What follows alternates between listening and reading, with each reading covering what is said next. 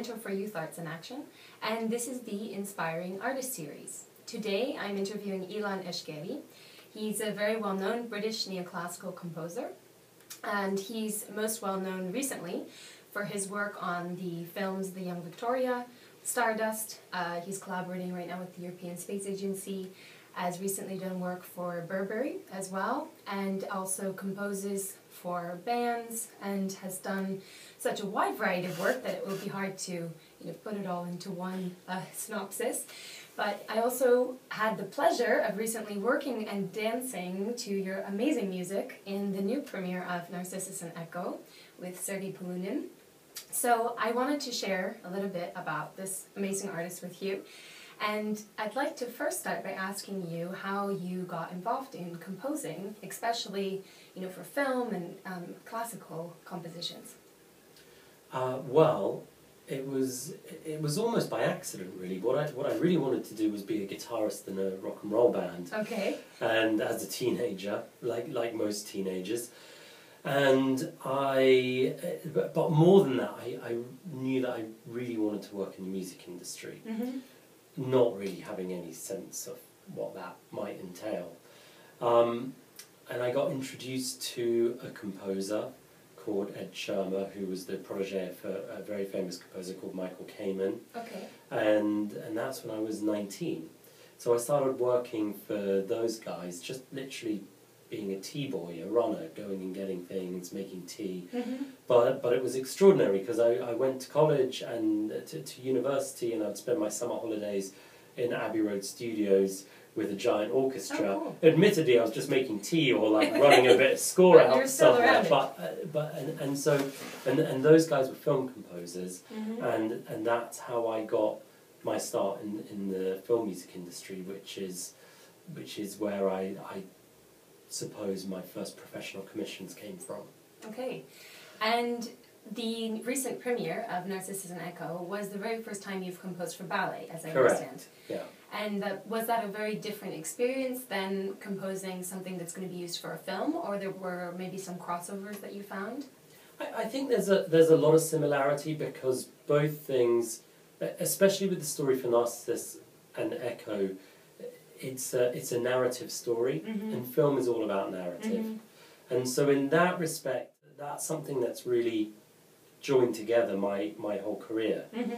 I, I didn't I, I studied I did a joint degree in music and English literature. Okay. But because I was doing all this amazing work with these composers, the music side of it wasn't interesting. So I really focused almost entirely on on English literature, and, and Oh. that's basically what I did my degree in.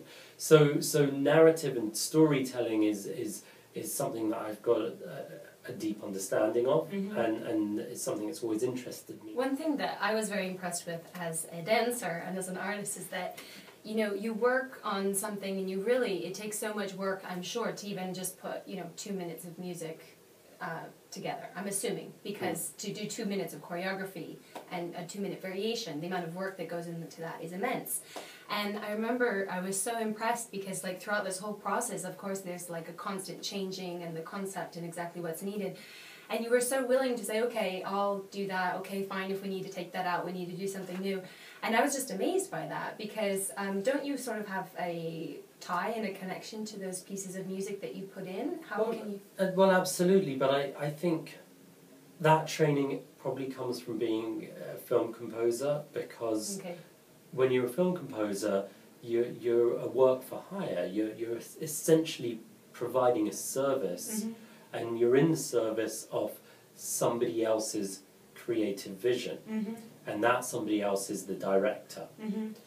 Um, and so they will ask you to do things. And of course, you're the head of your department, uh, so, so you'll discuss it and you won't do things that, that you don't think are right. Mhm. But it's a collaborative process. Like if you were a costume designer on a movie or even on a ballet, you would say the, the, the, the person, the creative force behind Mhm. the central creative force, that person will come to you Mhm. and say, I always thought it looked like this, it should be Yeah. like that. And you'll do a design and they'll say, that's great, but I don't like the gold buttons or whatever it is. And so you work, you work with that. Um, I guess that is how some of the best inventions have come into play and some of the most amazing creative collaborations. So it's a very good mindset to have. And it was very impressive to watch and to work with, and it was a, a great joy as well, the whole um, process. Well, it was a huge learning process for me, and, and of course, the, the ballet was my initial idea, and so I wanted to ask you about that, and I was wondering if you'd share the story of how the concept came about, because um, I mean, what a what a moment then to see that on stage as a finished sort of project and production. Um, so tell us. I well, I, I was always uh, ever since I was a child fascinated in Greek mythology. Okay. So I've always known a lot about it, and then I was reading Ovid's Metamorphoses, Mm-hmm. And I always I always thought that that it would make an interesting story to tell through music or through dance, uh, uh, all of the Metamorphoses stories because they're they're stories that are quite hard to tell in a literal way. Mm-hmm. They're very poetic. They're about they're about strange transformations of things from from from the but from the biological to the to the non-biological, from from one physical state to another physical state. They're, they're not easy to tell as as a, as a theatrical performance. So so you, you know I, I mean in, in terms of dialogue in traditional theatre. So I always thought, well, well, music and, and dance would be a great way to tell these stories, and I always particularly loved the story of Narcissus and Echo. I don't know why that love story stayed with me, Mm-hmm. and I, I read that when I was I must have been in my very early twenties, and um, and I always had this idea to, to, to do it as a ballet. I I'd seen a lot of ballet. My mum danced, not not professionally, Okay. but but she danced ballet for many years, and um, and loved it. So so that was always a part of my life, and and I just thought that would be a great way to tell the, the tell the story. But the the right, you know, in life you have to sometimes wait for the right opportunities to present themselves Yeah. to fulfill an idea. Yeah. Um, this happened to be a almost a twenty year wait until until I met Sergei Mm-hmm. and um, and and Sergei thought it was a great story, and he made that possible. He told me a story during one of the orchestra rehearsals, which I found very intriguing, of how you were going through one of your old translations of the Metamorphoses that you had from college, and you found a piece of paper. yeah, well, Yeah. the book that I first read read it in, which was one of the, the, the Penguin edition of the of, Mhm. of, of its Metamorphoses, and uh, yeah, and I, I found because I went and I pulled pulled that book out because I, I needed to reread it in order to start making this ballet happen. And remind myself of it. And yes, in there was a, a, an A4 piece of paper uh, with the, the, the scribbling out of how I thought the ballet might be structured. But on the back of that was uh, was the, the my classes and the things that I Mhm. needed to do. So I knew it was from that time. So what an incredible reminder, probably to see like, wow, you know, from my college time to now, to see that this is something that I wanted to do. And how did it feel to see it then, you know, for the premiere and sort of fully realized? It was. Well, I mean, it's complicated because there were so many concerns about every aspect of it. Yeah. You know, you you you're finally putting this idea in front of an audience, and you're in a theatre, and it's exhilarating and it's amazing. But you know, for me, I was focused on every aspect of the collaboration, the Yeah. the, the work we did with David LaChapelle on the set, and the costumes, and Mhm. the choreography, and the music, and the performance of the musicians, and Mhm. uh, all those things that I almost didn't even have time to to take in. That this had been such a long journey, Yeah. um, but um, but yeah, I mean it, it's wonderful. What you know, what's really extraordinary is just this idea that you can think of something Yeah. and and make it happen, and and not that many people have the opportunity to do that in life, and I'm very grateful that I've had that opportunity a few times. Certainly, doing this ballet was was one of the greatest ones, where I just had an idea and suddenly there's all these wonderful dancers and you and an orchestra and a theatre and, and, and this enormous huge team of people and all these wonderful creative minds coming together to realise a dream that I had once and and that's a really special thing and something I'm very grateful for. And a testament to keeping the dream alive, I think.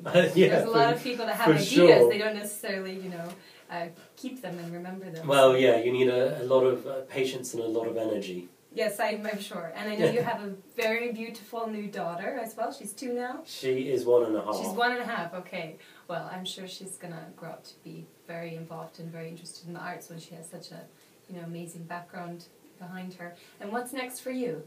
What is your next exciting? I'm working on a project uh, with the European Space Agency and uh, some Ballet astronauts. to space. yeah, well, it was a, another just amazing story that uh, Tim Peake, the British astronaut, was a fan of my work and got in touch with me and asked me to to do some music for a video that he was going to make of his time on the space station. oh, how cool! which is available.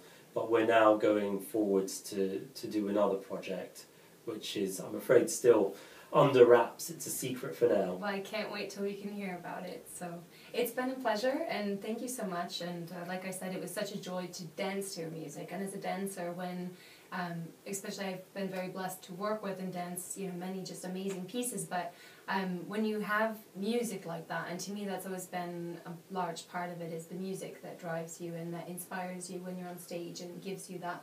Um, impetus to put that expression into your movement. So it was just a great joy to perform to it and dance to it. And as I said, just so impressed by you know what you were able to express and bring and collaborate and bring it all together. So thank you for your amazing idea that you had 20 years ago. well, thank you. You're very kind, and I loved every moment of it. So I, I hope we get to do it again soon. I hope so too. So till next time. And um, so this has been our inspiring artist interview with Ilan Eshkeri.